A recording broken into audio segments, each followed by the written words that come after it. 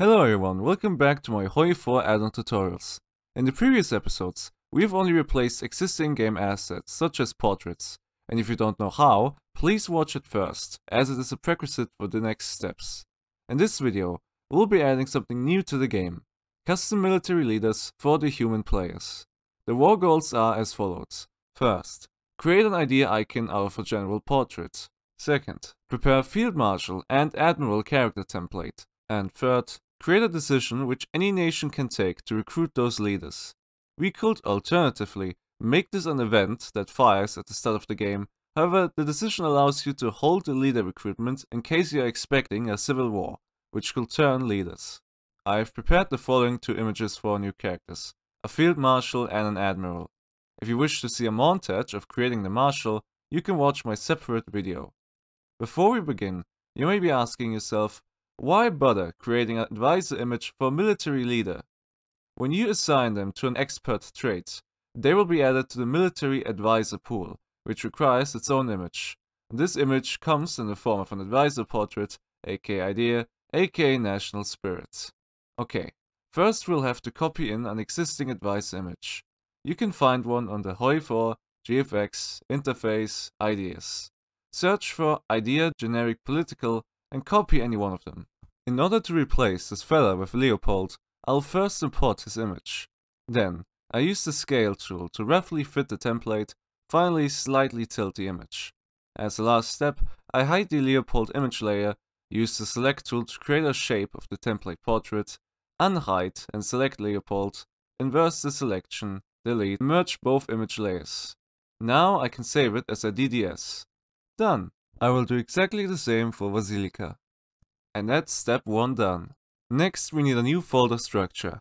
History slash general. And here I'll make my characters file, which I will call varnost underscore mercs.txt. Open it up. To save us some time, you should find the following example text in the pinned comment. Copy it in. If you're using Notepad++, under language, you can select Java to make it look a bit prettier. What we are doing here is adding a character template to every nation, while also blocking its generation on game startup. You see, every character in the game is unique. If we make our two mercenaries unique characters, they can only work for one nation at a time. This is why we're using a generate character block, which is for creating multiple generic characters, although funnily enough, we won't really have anything generic in them. Our first character is Leopold Collard. If we left out the name, it will pick a generic one for us. Under portraits, well, we link the portraits. Don't forget to change this with your custom portrait. The character himself will be a field marshal. If you want him to be a general, use Corps Commander instead.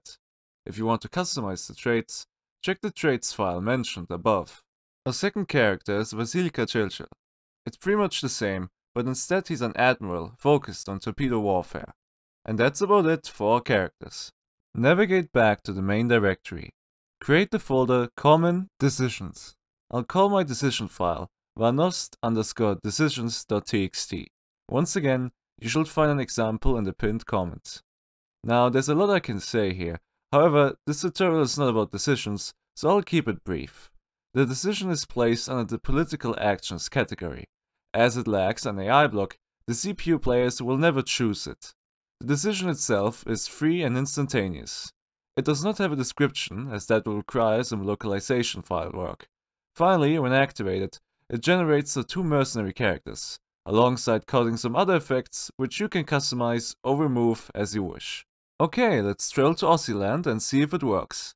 Yep, there we go.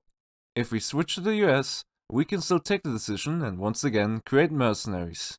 Campaign complete. I wish you much fun adding your favorite cast of friends and foes as commanders, and don't forget